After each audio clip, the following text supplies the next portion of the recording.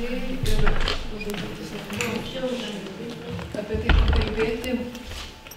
Norėčiau trumpam grįžti prie vakarykščių e, kalbėjimų ir priminti jums tą akimirką, kai mes e, diskutavome dėl e, lietuvių tautos susikūrimo prielaidų būdo ir buvo kalbama apie XIX amžių, XIX amžiaus valstybišką kultūrą. Ir štai čia Gediminas mums atveria visiškai kitą kiratį, kitą perspektyvą. E, ir mes dabar galime nuo XIII amžiaus iki XIX šitame laikotarpyje atplaukti, atplaukioti.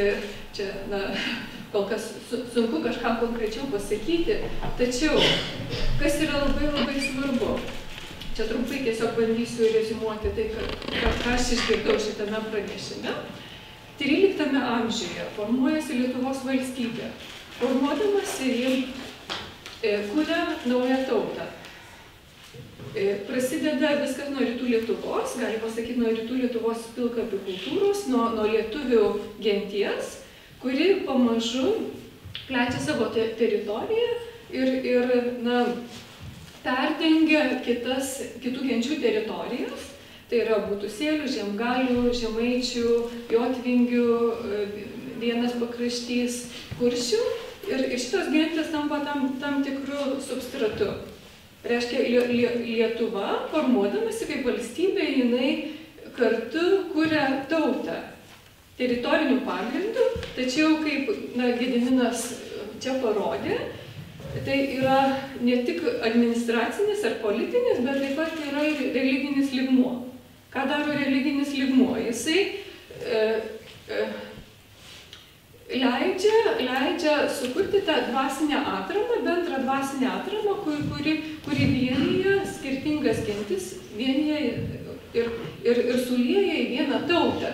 Ir jeigu mes eitume toliau, turėtume kalbėti apie tai, kad vėliau e, atskiros kalbos, atskirų baltų genčių kalbos, jos nyksta ir galų gale yra tik tai lietuvių kalba na, ir, ir, ir, ir žemaičio realas išsiskiria. Taigi visą tai, ką mes šiandien vadiname lietuvių tauta, iš tiesų yra ir žiemgaliai, ir kuršiai, ir, ir ir sėliai, ir, ir jotvingių dalis. Taigi, na, mes matom, kad tautos formavimasis nėra toks paprastas dalykas. Tai yra tas sudėtingas, ilgas procesas ir, ir Gediminas mums rodo jo ne, tokias kaip ir ištakas.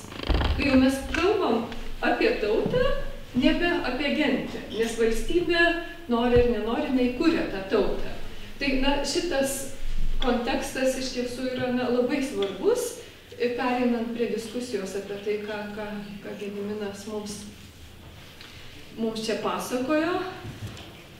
Ir dar vienas klausimas, man atrodo, irgi yra kertinis, kadangi kalbėta apie laidojimo e, paprotį, apie mirusiųjų deginimą.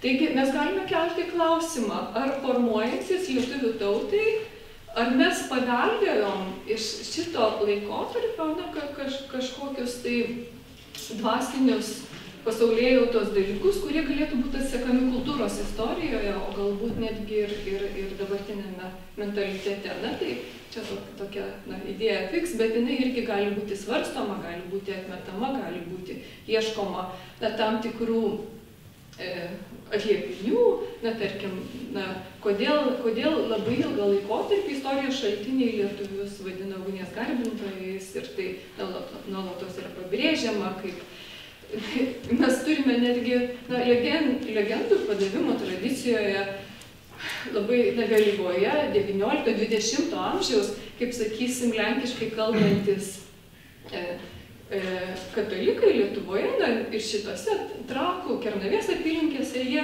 lietuvius vadina pagonimis ugnies garbintojais. Na tai tarsi yra na, toksai na, pažeminimas, bet, bet tas įvaizdis, tas vaizdinys jisai išlieka istoriškai. Ir, na, galim į, įvairiai samprotauti. Ar, ar, ar, ar čia būtų tas ryšys su, na, iš tikrųjų galinga tradicija, kuri na, kiek Gediminai, 200 metų tai tęsiasi, pusantro šimto metų, kai vienijant Lietuvos valstybę deginimo, mirusiųjų deginimo prieglotys turėjo apimti visą teritoriją. Ir tas mastas, kai taip atskleidė Gediminas, iš tikrųjų, nu, labai jisai didelis tas mastas, palietęs ne tik aukštuomenę, bet ir, ir, ir, ir bendruomenės apskritai, ir tų kapinynų skaičius yra jau dabar didelis, bet vis, vis didėja. Na tai aš siūlyčiau mūsų diskusiją kreipti na, tokią vaga platesnę, e, ne, ne, nes, nesileidžiant į daugybę archeologinių smulkmenų, kur, kurios visos įdomios ir, ir svarbios, bet na, galbūt stengtis likti mūsų seminaro temos. Taip, prašau. Kalbant Daivį, tai žinoma, mažos raidės padarė savo ir prisimė kai kurios svarbus dalykus, kurių nepasakiau. Kad, na, istorikų darbuose be viso to aiškėja, kad 14 amžiuje formuojasi lietuvių tauta, na kaip susiformuoja lietuvių tauta, na tas visiškai irgi tas apjungimas. 14 amžiuje diduomenės sluoksnė, kunigaičių sluoksnė jau manoma, kad susidarė jau tas na, tautybės samprata, na toks kaip ir mentalitetas, kad jau yra suprantama, kas tai yra ir kad yra mūsų. Ir taip lietuvių, kal, lietuviai e, tapo tuo kertiniu akmeniu, kurį apriepia tą visą teritoriją, tačiau labai svarbu matyti, kad jos atskira šaka yra žemaičiai. Tai lietuviai ir žemaičiai, na aš to galbūt ne, ne, nepabrėžiau, pamiršau, bet, na, bet taip yra, tiesiog na, svarbus, svarbus tokie dalykai. Prašau dabar jungitės diskusiją. Prašau, būtų galima manyti, kad mūsų pačios giliausios šaknis kaip lietuvių eina į ketvirtą, penktą amžių, nuo kada prasideda danijos ryšiai visi dalykai. Ar galima tokia prielaida? Na, tai patys lietuviai, jie kaip gentis. Kaip gentis, jie maždaug iš, išskiriami šiek tiek vėliau netgi, apie šeštą, galbūt penktą amžių. Na, ir užsidėkime pamatys šiek tiek anksčiau, tai yra proto lietuviai, na, pro lietuviai, iki lietuvių kas buvo. Tačiau tuo metu vykę sudėtingi procesai, jie tiek daug įnešė ir tų ir skirtingų genčių, ir didysis tautų kraustimas ten labai pakeitė viską. Na ir galiausiai, e, kuriantis valstybėje įsiliejusios kitos gentis, žiemgaliai, prūsai, prūsų čia yra didžiulis vaidmuo kaip pačių žmonių, kurie patys pirmieji susidūrė, galima sakyti, su tais ordino antpaliais. Jų yra labai daug atsitraukusių į Jotvingių teritoriją, Lietuvos, Baltarusijos žemės, dabartinės Baltarusijos žemės, žinoma, tai na, tos skirtingos gentis, na, žinoma, tai nebuvo ten šimtais tūkstančių ir milijonais, nes nu, tikrai buvo mažesnis gyventojų skaičius, tačiau jos įsiliejo tą bendrą Lietuvos na, tautybę, kuri jau 14 amžiuje išvelgiama aukščiau, aukščiausios sluoksnė, bent jau pagrindu. Tai jos įsiliejo ir sudarė. Tai, o nuo 4-5 amžių, na, proto lietuviai tokie proto lietuviai. Proto lietuviai ir jie visiškai kitokie buvo 5, 6 ir 12, 13 amžiuje. Na, Na, tiesiog dėl to ugnies. Na, Mirusių degimas paprastai šiaip yra toks e, visuotinis dalykas, daugelis tautų turėjo skirtingais laikotarpiais. Tai pirma, pirmoji mirusių degimo papročio banga iš viso buvo laikotarpį prieš Kristų, tam skaičiuojant, yra prieš daugiau metų. E, bronzos amžiuje. Antroji banga tai va ta prasidėjusi jau, jau pirmojo tūkstantmečio ir, na, dabar, žinoma, visai kiti dalykai, dabar mažiau lemia tie religiniai dalykai, dabar yra trečioji mirusideginimo papročio banga. Tai, na, yra skirtingi tie dalykai, bet mirusideginimo laikėsi daug daugiau tautų, tačiau lietuvis iš kitų tautų ir valstybė išskiria tuo, kad jie turėjo valstybę ir čia mirusideginimas buvo tas pagrindas, tas pamatas, kuris vienijo lietuvius. Tai va tas ypač viduramžiais išsiskyrė, tai tas tikrai jau buvo grynas. Nors uh, ten atskiros finaugur gentelės dar yra tokiu atveju netgi 16-17 amžiuje, netgi Estijoje rasta 16 amžiaus deginių kapų, bet ten yra grupelės, ten yra grupelės, ten yra gen, genčių tokie likučiai. Tai ne, nėra valstybinis vaidmuo, na, yra truputį kitaip. Tai... Dar galima paklausti, kur tiksliai Vilniaus šventarakas yra? Ar ties Jurgio bažnyčia? Čia daugiausia rašė Vykintas apie tą šventaragį, bet yra tiesiog pagal tuos sudarytus planus, pagal na, tas izogiptės, pagal viską, tai yra, buvo du tokie ragai, neklystų. Tai vienas iš jų galėjo būti tas šventaragis. Na tai e, ties senąją vaga arčiau Vilnelės, ten kur dabar yra Vrublevskio gatvė, maždaug ten, taip tikintai? Maždaug kaip apeina, ten kažkur turėjo būti tas mokslo akademijos. mokslo akademijos ir šiek tiek galbūt piečiau, ties katras aikšte kažkur ten tokie buvo keli ragai ir, nu, pagrįsta manyti, kad tas šventa ragis yra tas atragis ragas, tas išsikišimas toks.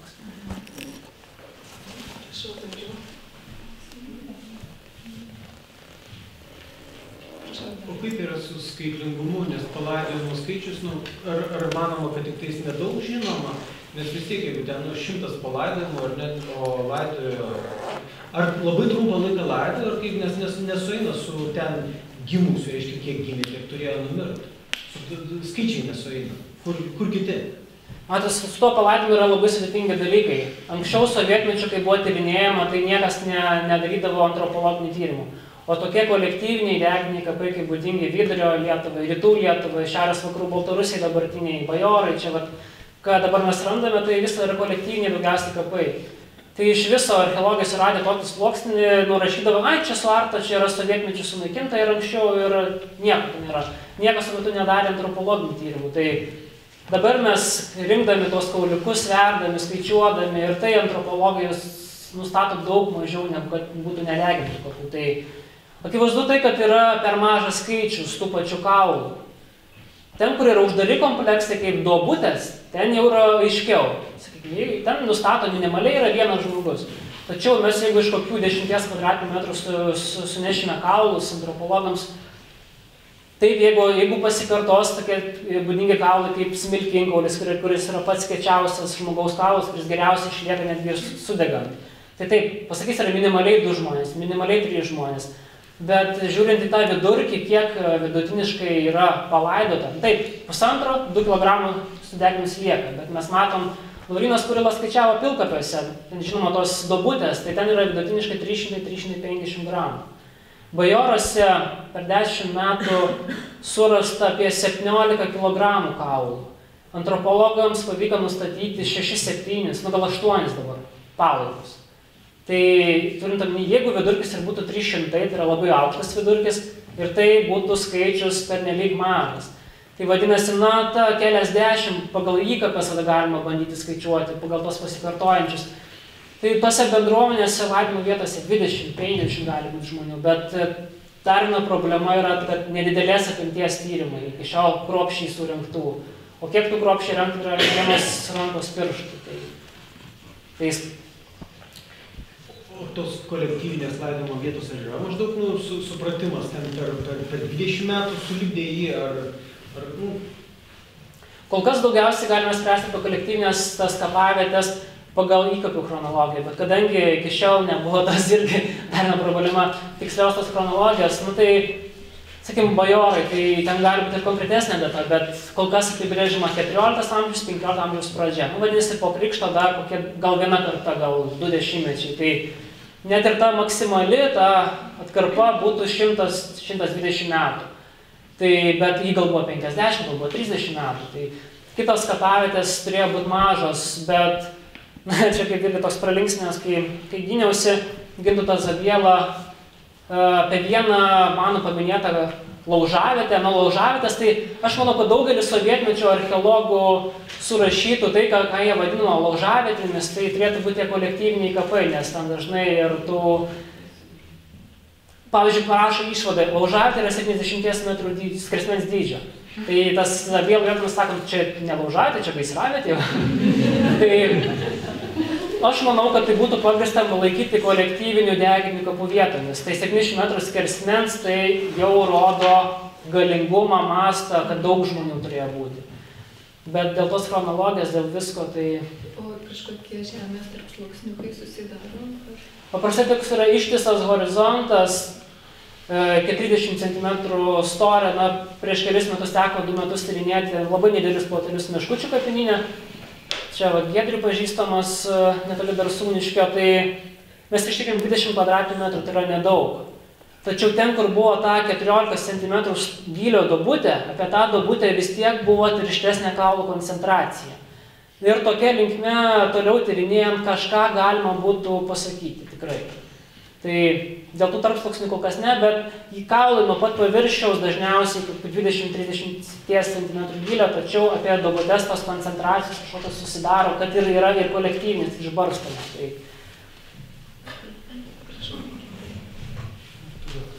Aš tiesiog trumpai noriu paklausti, kodėl tokia juosta, kaip, kaip tą aiškinti lik žemėlapį, bet tokia juosta į viršų tarsi kyla. Ar čia tiesiog nėra tyrinėjimų tuose kampuose, ar ar, ar nėra, ar nėra laiptų? kad ir sudėliojus tas visas laidimo vietas gaunasi tokie kaip ir telkiniai. Na, kaip ir anksčiau buvo, sakykime, skirų genčių tokios teritorijos, dykros tarp jų yra tuščios teritorijos, kad ir 14 amžiuje kažkodėl vis tiek bet tokie tu, tušti tarpai gaunasi. Apie pietričių Lietuvą, Vilniaus šalčininkų kraštą, tai nėra tų deginių kapinynų kol kas, bet aš garantuotas, kad čia turi būti, apie medininkus. Tiesą sakant, e, Baltarusijos teritorija pusę kilometro atstumu nuo Lietuvos sienų rastas ten kaimas Mednikiai. Yra kiti medininkai, už 7 km. Tai ir pusę kilometro nuo sienos, tai irgi yra rastas kapinynas. Rastas šalia sienos ties Eišiškėmis, toje pusėje. Tai Bet šiaurės rytų ten buvo tuščia. O sėlio problema, kad nei, nei degtų, nei greutinių, kaip ir nežinoma, ten gal greutinių 14 amžiaus yra pasitaiko vienas koks palmių pūvinkas, bet Esmė ten, kur tušti taškai, ten yra tušti taškai visiškai, tiek e, kremacijos prasme, tiek ir greutinio laidimo būdo. Tai... Bet e, kai kuriuos iš jų tose vietose ir yra piliakalnių, tai vadinasi, tikrai žmonės kažkur turėjo būti laidinami. Tiesa, dar, dar čia sugrįžtant prie tų, taip yra per mažas deginių gavų skaičius, yra tikrai bus per mažas žmonių skaičius. Tačiau čia nagrinėjant visų laikotarpių bendruomenės, kad per mažai žmonių tiesiog yra palaidota. Tai vadinasi, iš mitologijos, iš e, Sibiro tautelių, iš finų ugrų, iš kitų kraštų tos analogijos, kad dalis mirusių tikrai galėjo būti ar medžius įkeliami, ar pavėjų išbarstami. Vien ką, ką duoda mums e, Eduardo Volterio užrašytas padavimas apie Migonių piliakalnį. Ten kalbama, kad padavime kalbama, kuris buvo užrašytas apie 1900 pradžioje, 1908 man atrodo, kad dori žmonės, narsus vyrai bendruomenės e, buvo sudeginti ir išberti į upelio vandenį. Na, kaip kaip į vandenį vandenį. E, o kopšus e, ten įvairiais, žodžiu, to laiko požiūriu netokie nusipelnę, tokie gal labiau tingesni, netokie žymus, jie buvo išberti pavėjui. Savai suprantama, mes ir neberandame, nes per tiek šimtų metų rimas ar kiti darbai jų nebelieka. Ir dar palikti kai kurie žemėje, kad dar pagulėtų ir atidirbtų, ką blogo padarė. O kiti paleisti į vandenį, kad nutekėtų. Tai čia tos, manyčiau, analogijos, vat, matau, vat, ir jūs, kad analogijos su Indijos, su Indija, su Nepalu, su Tibetu, tai skirtingi kraštai, bet e, mes matom, turim, turim kelis pavyzdžius, kur tikrai yra paliudyta ir jie tos yra, paliudimai yra pagristi, kad mirus, mirusiųjų išberimas į vandenį ir susidarė tikrai nemaži tų kaulų, ten skaičiai, kiek kiekiai, svorio prasme, tai tikrai galėjo būti tas kur kas platesnis mirusiųjų laidojimas vandenį. Iki šiol jo nebuvo ieškoma, tačiau va štai bajoro aptiktas atvejis, mes jau Metvikinas atvažiavo, net jis nežinojo, kad ten bus toks surastas, jis galvoja apie tą kalvelę, kuri yra virš vandens iškilusi, nusausėjusi. Semeniškės Visianvagės atveju yra patys valstybės centrai. Bajoras irgi yra ir kalavijai, ir kirviai, na tai aukštas sluoksnis, bet kartu ir, ir visa bendruomenė, ir vaikų yra, ir vyresnių 50 metų, ir, ir kiti darbo įrankiai, žodžiu. O Semeniškėse ten žverta vandenyje, ten rasta irgi viena iš pirmųjų Lietuvos monetų, datuojama 1300 kalinimo prasme. 1387-1390 metų. Vadinasi, jinai jau pateko po to laiko, jau po krikšto. Ten nerasta ginklų, ten yra paprastos bendruomenės, bet moneta irgi, jinai kaip ir iškelia šiek tiek aukščiau. Tai mes matom, kad tos galimybės, kad ir mirusių degimo paprotys išplito, mes nežinom, kaip visa, visa bendruomenė buvo. Taip, mes neturime tų nedegintų mirusių kapų, bet gal jie buvo laukose išberti, gal buvo jie vandenį daugiau, gal tai medžius įkelti, ant kokių papilų, na, dinksta, kažkur dinksta. Vykitas pirmas. Noriu atkreipti dėmesį, kad tai, ką išgirdom, ir visa, visa hipotezė remiasi tokia prielaida, jinai yra pagrista, kad mirusiųjų deginimas išreiškia pačią religiją, pačią dvasinę esmę, kaip mes ją be pavadinsim. Ir kad tai nutiko su Lietuva. kad kuriantis didžiai kunigaikštystėje, kad yra žinoma, kalba, tie žmonės susikalba, tai yra valdovai, kurie parodo valią, kurie, kurie apjungia ginklu, protinę teisę. Ir čia yra religinis dėmuo. Na, tai kad to lietuviškoji tapatybė, religinis dėmuo, mirusius deginti, mitai pagrindžia pomirtinį likimą. Ir viskas gerai. Bet čia negi mes žiūrim, kaip plinta mirusių deginimo paprotys. Mes kaip archeologai. Mes akivaizdžiai matom, kad religija čia nevaidina jokio ypatingo vaidmens.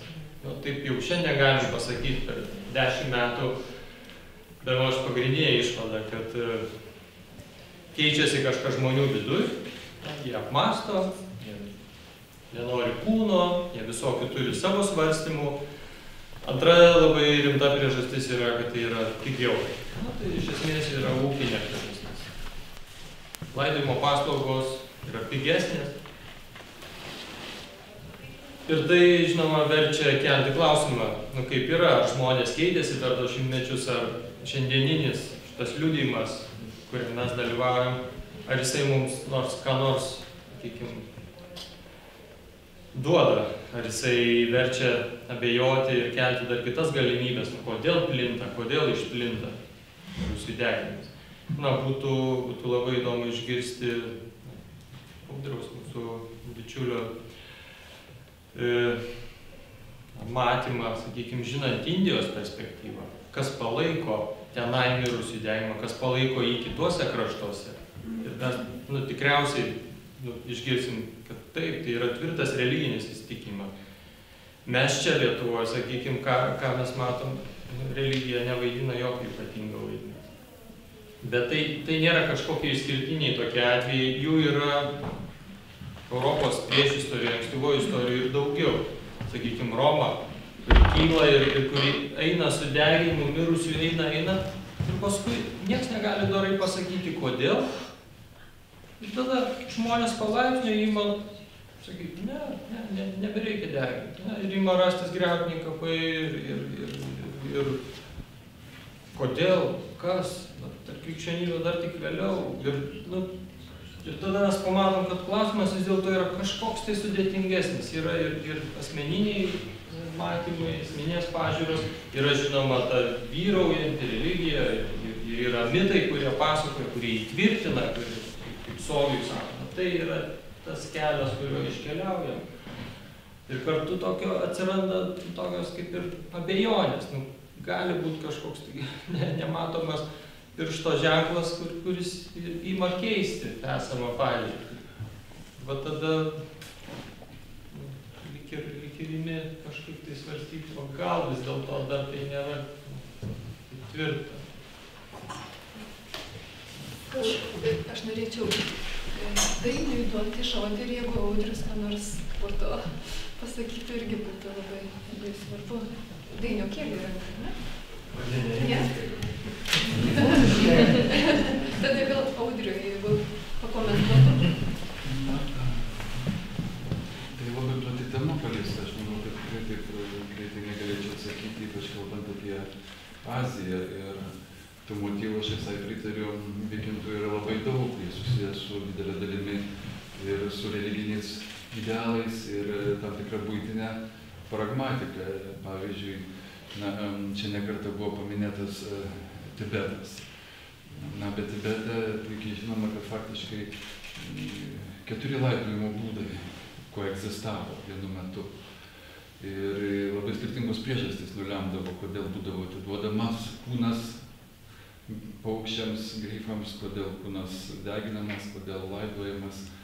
Indijoje tai labai akivaizdžiai tai susiję yra vis dėlto su laidojimo, laidojimo suvokimu kaip perėjimu į kitą egzistencinę dimensiją, į kitą, kitą būties lygmenį. Ir kaip tu išeini, kokiu būdu išeini, priklauso vis dėlto nuo, tai yra glaudžiai siejama su na, apsivalymo funkcija. Tai yra vis dėlto kremavimas Indijos kontekste, religinėme va, ugnis, e, nors vanduo irgi egzistuoja, egzistuoja ir laidojimo praktika, bet ugnis tai yra vis dėlto e, padėjimas atsilaisvinti, atsitapatinti, sunaikinti tuos galimus galbūt pririšančius, laikančius ryšius su, su, su, su šia buvusia buveinė, galima pasakyti. Ir ko gero būtų, vat, vėlgi, kalbant apie skirtingus sluoksnius, e, tiktų pavyzdį paminėti, na, puikiai žinoma, kad Indijoje, pavyzdžiui, nešių moterų nekremuoja, Indijoje iki šiol mažų gimusių kūdikių nekremuoja, jie yra o, skandinami vandenį.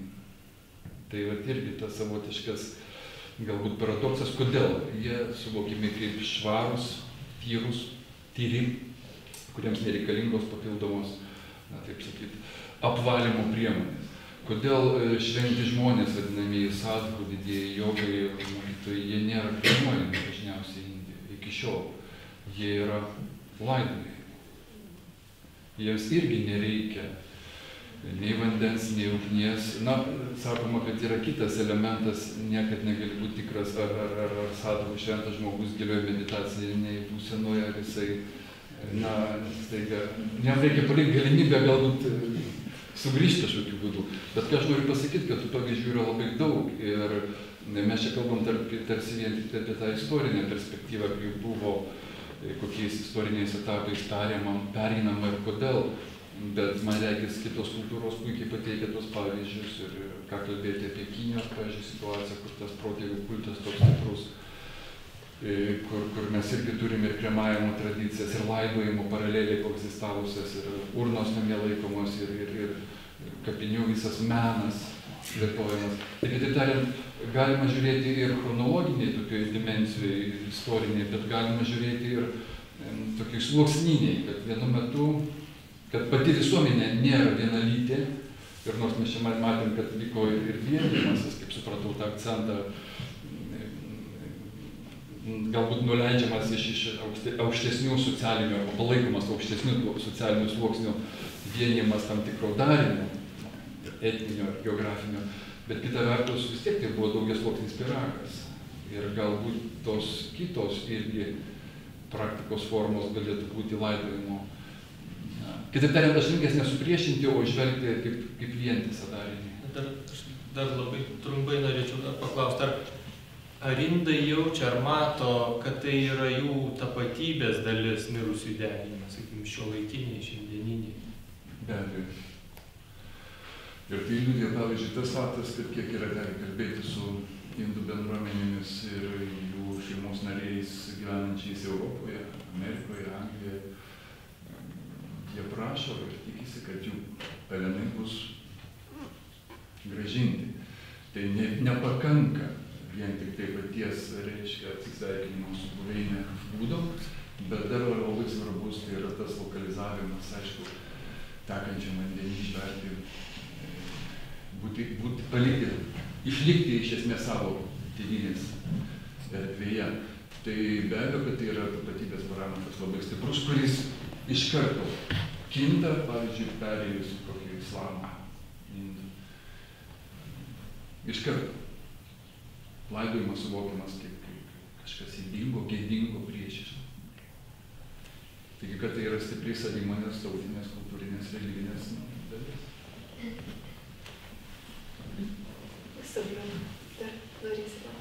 Tai aš norėjau, kad tai yra, nes buvo pasakyta apie laidojimo metu tvarkomus pelenus upelėje, vat jau profesorius kaip tik pradėjo tą mintį, mano klausimas toks, ar yra kažkokių daugiau sąsajų, kurios leistų radus esamus dalykus, pavyzdžiui, Azijoje, jau ten tiesiog tekia ten nu, pas mus ir pasakyti, kadangi Azijoje yra tiek ir tiek tokių tai taškų kultūrinių, o čia pas mus radom du, tai galima manyti, ir kiti likę, ten trečias, ketvirtas pas mus galėjo būti. Kas nors bandė tokius antropologus pritraukti prie tyrimo, ne tik, kad kraujelius radom kalinius, bet dar ir kažkokius kitus požymius. Tai bendriau šiandien.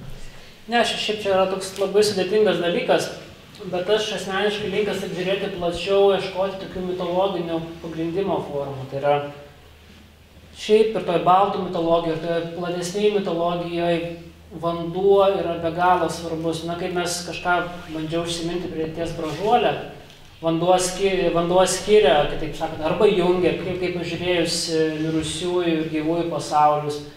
skirtingose tautose į vandenį, sakykime, ten Polinezijoje, į kokosą įberti palaikai, išplukdomi vandenyną. Nu, tas vanduo sujungia. Ir e, vandenį išberti tie palaikai, na, jų dalelės, kartu randamas įkapės, na, tai, tai yra tiesiog nesirodymas, bet, e, bet tai suprantama suvokiama, nes yra daryti tyrimai, skaičiuota, žiūrėta, na vis tiek, jeigu yra tekantis vanduo, tekantis vanduo jis neša, tos kauliukus neša po truputį, tai, na, tai sudėtinga surasti. Tuo labiau, kad e, arba stovintis vanduo, nu, jis vis tiek užsineša tos sluoksnis, nu, mums reikia specialiai ieškoti. Iki šiol specialiai niekas taip ir neieškojo. Tai, o apie vandens sąsąją su mirusiaisiais, tai čia ir skandinavų mitologijų pilna, ir žinoma, kaip ir vikingai, e, yra tokių liūdimų, kad išverdavo į jūrą palaikus sudegintų mirusiųjų. Na tai yra taip yra analogija, bet tai mes galime suprasti, kad kažkokie pamatiniai dalykai yra bendri, matyt, gal sklindantis iš ankstesnių laikų, kodėl jie dabar atsi, jie atsikartoja. O Daivos atliktas tyrimas, kuomet e, stebuklų pasakose iškėja labai irgi toks svarbi detalė, kad tam, kad žmogus atgimtų, pereitų įvairias, e, įvairius, e, žodžiu, tos pavydalus ir atgimtų žmogumi, na, jis turi pereiti kažkiek lygių ir sudegintos, žodžiu, sudeginto, sudegintų palaikų suvilgimas vandeniu paspartina tą perėjimą.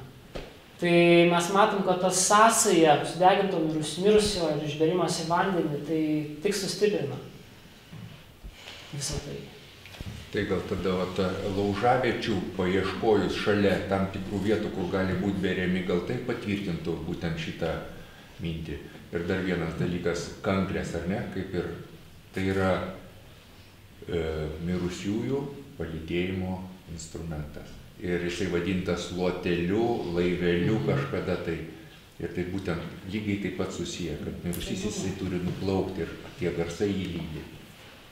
E, pabaigoje jau turim baigti šitą diskusiją, bet norėčiau Gedimino paklausti, e, kaip matytum šito tyrimo perspektyvas? Dabar jau na, labai daug iš tiesų padarėjai Pirmiausia, ką padarė, tai pagrindai, kad mirusiųjų deginimas buvo vyraujantis paprotys tuo metu, kuo na, buvo abejojama iki tavo tyrimo. Ir žengiai dar vieną žingsnį, sakydamas, kad tai yra mūsų lietuviškos tapatybės labai svarbi dalis. Tai kokios galėtų būti tolimesnės perspektyvos? Aš matau, matau tris tokias skėtis toksai, tai trys tokias kryptis. Tai pirmas būtų labai mane be galo domintis, tai yra sąsajos su leičiais, jų paieškos. Gal ieškoti Žemaitijoje, pakraščiuose, galbūt čia kažkur pietričių Lietuvoje, tų naujų laidimo paminklų, ieškoti galbūt aukštesnio sluoksnio pagal istorinius duomenis, kviečiant tiesiog tai pagalbą tai istoriką Arturą Dubonį, kuris beje Archeologai ginčiasi labai su tuo mirusių deginimo papučių svarba ir, na, kad ir tokie skaičiai, bet vis tiek jie ginčiasi. O kas man labiausiai patiko, tai yra istoriko Arturo Dubonio, kuris visiškai žiūrėjo kaip nepriklausomas žmogus ir jis tą leičių tyrimą atliko. Tai na, jis tam pritarė visiškai, kad tikrai tai buvo išskirtinis lietuvių dalykas. Tai pirmas yra sąsajos su leičiais, galbūt naujų vaidimo paminklų paieška. Na čia Žilinas Montvidas, archeologas, surado užpernai įsimėnų kapinyną Taip pat įrengtas 13 amžiuje kapai 13, 14, 15 amžius. Na, pagal radinius tiesiog sprendžiama. Tai irgi yra skaudvilės apylinkės. Ta leitkapių, leitčių teritorija. Tai labai labai įdomu. Antras dalykas tai yra būtų mitologija. Man be galo įdomus čia, žinoma, spiriuosi nuo archeologijos, bet plėsti savo žinias kažkaip ir kviečiant į pagalbą ir, talkininkus. Tai ugnis, vanduo, pomirtinis pasaulis, perėjimas iš vienos, žodžiu, iš, vieno pasaulio į kitą, ten pusybę. Ir trečias dalykas, na čia matyti, archeologai labiausiai norėtų, kol kas gal nėra tai mano pats pagrindinis, bet tikrai būtų verta e, tas įkapės, bandyti kažkokiu būdu tikslinti jų chronologiją, kažkaip susiaurinti, kad na, būtų dar tiksliau būtų galima pasakyti. Tai šiuo atveju matyt būtų verta ne tik sudegintų, bet ir nedegintų tų Kernavės, Vilniaus, įtraukti tie, kurie radiniai iš to yra konteksto, iš to laikotarpio žiūrėti, kaip jie tiesiog tarpusavyje. Būtų tokie galbūt trys dabar. Mhm. Tai turim padėkoti ir baigti šitą.